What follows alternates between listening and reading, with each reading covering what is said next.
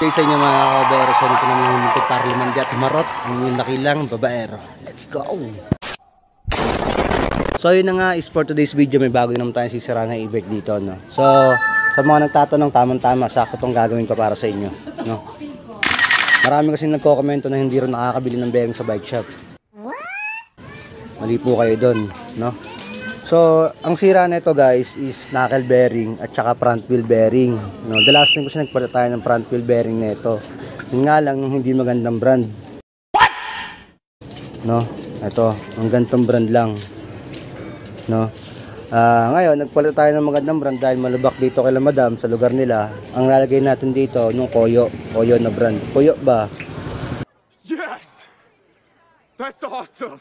Yan, Koyo. Ang size na ito, mga kababaero, is 6 to 01. Yan. Yan, Basta ganitong kalalaking 3 wheels. 6 to 01 yan. Sukat lang yan 6 to 01 tsaka 6 to 100, no? Ngayon, ang problema ng kanyang knuckle bearing, which is, ah, ang tag nito, nadurog na kasi yung bearing niya. Yan. Nadulog na yung bearing niya, no? So, ang problema, pinagawa niya sa motor shop. Ito yung equivalent na kapag ah, magkaiba yung knowledgeable ng technician ng e-bike at technician ng ah, motor shop. Bro, what are you talking about, man? Ngayon, binagawa ni Madam dahil ah, malayo siya sa may technic ah, sa repair shop ng e-bike at baha daw dito no. Pinagawa niya ngayon sa may motor shop.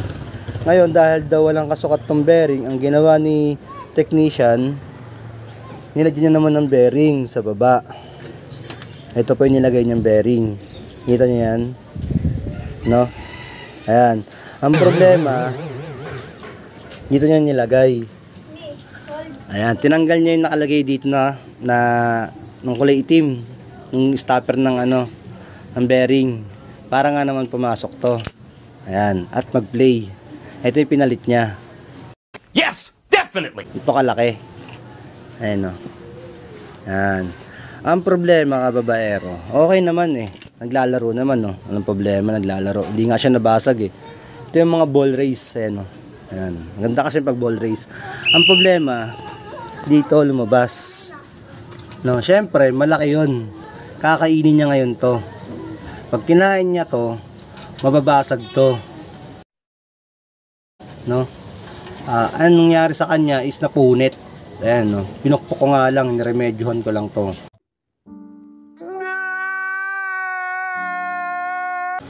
Ah, ngayon lang ako gumawa ng gantong remedyo kasi hindi ko siya gayang gawa ng solution. Either na lang kung meron tayong welding machine, no?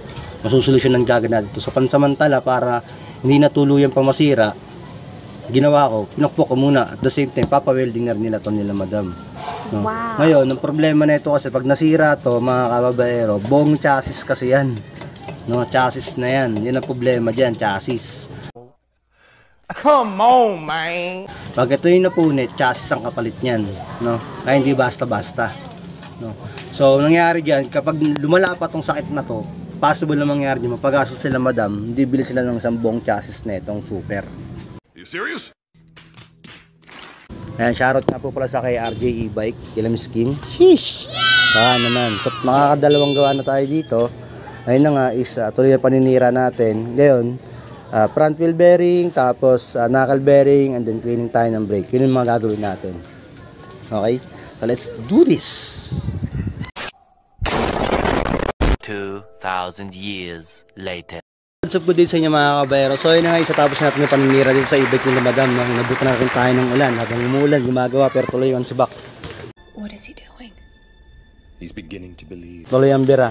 So nalinis na natin nung kanyang brake front tsaka back. At the same time nung front wheel bearing at knuckle bearing.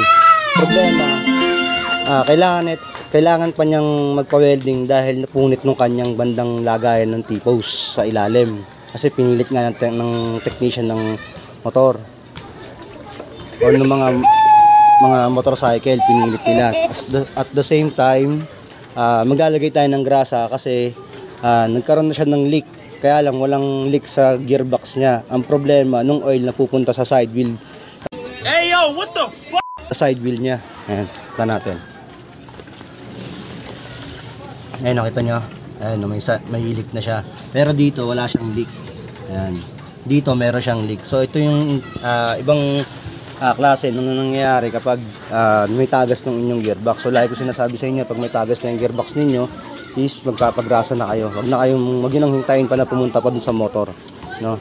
Ah, sa mga basher ko diyan kung bakit nga ba nagkakaroon ng ah, nung motor ng oil. Ba, di ko rin alam eh. Sabay-sabay natin tanungin kung bakit nga ba. I'm here to tell you right now, we don't care. So ayun lang, nakabudol at nakasira na naman tayo. Repeat customer na natin sila madam at patuloy yung nakapagawa sa atin at nagkapasira ng e-bike. Let's go!